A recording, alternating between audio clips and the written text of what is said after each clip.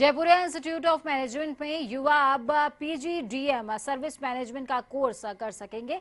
इससे उन्हें औद्योगिक क्षेत्र में रोज़गार के बेहतर विकल्प मिलने वाले हैं। ये कोर्स सत्र 2018-19 से शुरू हो जाएगा। इसकी घोषणा जयपुरिया ग्रुप के अध्यक्ष शरद जयपुरिया ने करी है। शरद जयपुरिया ने कहा कि जयपुरिया ग्रुप ने सर्विस सेक्टर की बड़ी कंपनियों से एमओयू किया है।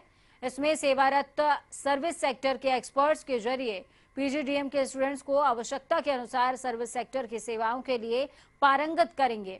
यहाँ पर इंस्टीट्यूट के डायरेक्टर प्रभात पंकज ने कहा कि पीजीडीएम कोर्स के स्टूडेंट्स को उनके विषय की प्रैक्टिकल जानकारी देने के उद्देश्य से जयपुरिया ग्रुप में बीएससी, आईबीएम और केपीएमजी, फोर्टिस अस्पताल और जेनपैक्ट के साथ एमओयू किया गया है।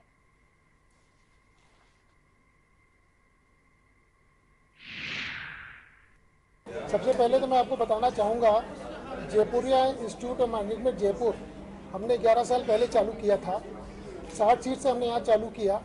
आज के दिन 240 सीट हमारी हो जाएँगी और कैंपस में 480 बच्चे हो जाएँगे। जो भी बच्चे हमारे इंस्टीट्यूट से पास कर रहे हैं, उनको अच्छी नौकरियाँ मिल रही हैं अच्छी अच्छी मल्टीनेशनल्स हैं बैंक्स